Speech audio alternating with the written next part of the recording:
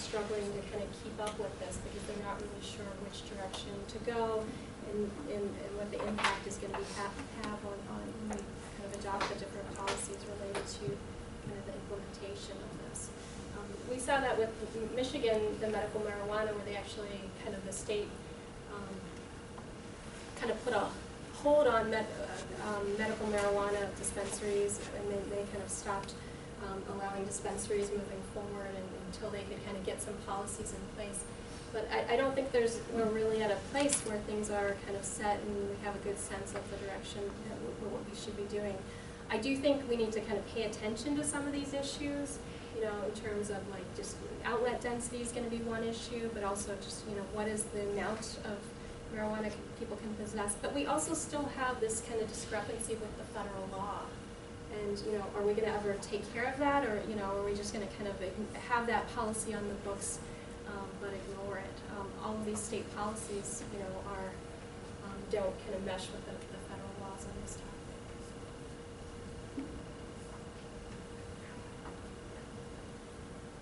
Do you think that, um, if it becomes legal for people who are twenty-one or older, then it would like increase the use in like adolescents, because they think like, oh, eventually to do it like anyway, like kinda like alcohol now. So I, I think a lot of folks think just in, with greater availability, even if you have to be twenty-one to buy it, you know, the idea that um, teens do get people to buy them alcohol when they're underage, so it may be the same thing where you, you get someone to go buy you marijuana in those contexts. Um, there, there has been some work too, just like in monitoring the future, I think they started asking teens if they've ever used um, marijuana that was obtained with a medical marijuana card.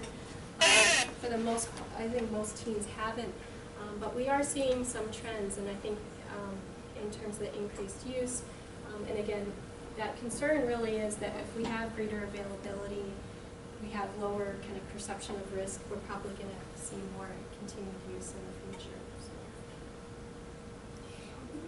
Does a license give the dispensary the ability to grow it, or is there some kind of distribution center where they buy it?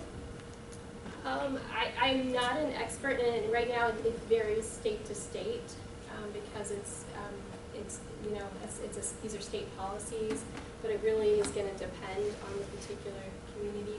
There has been a, a pretty large increase though, um, in terms of the number of people that are growing, but also kind of selling, and I think a lot of the, the organizations, they are doing both.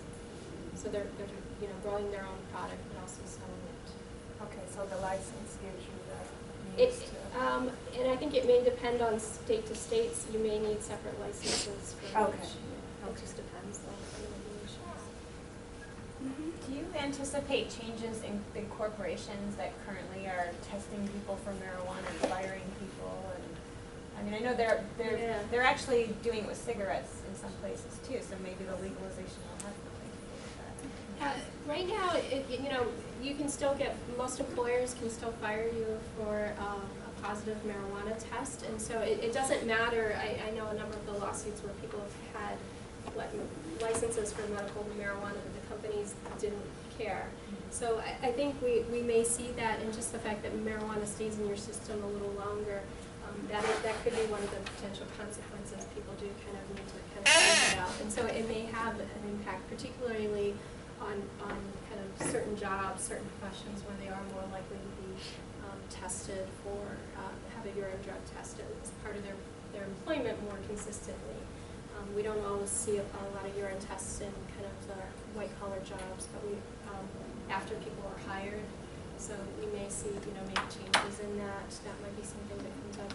But it, it could be possible that those kind of testing policies would have a, a larger impact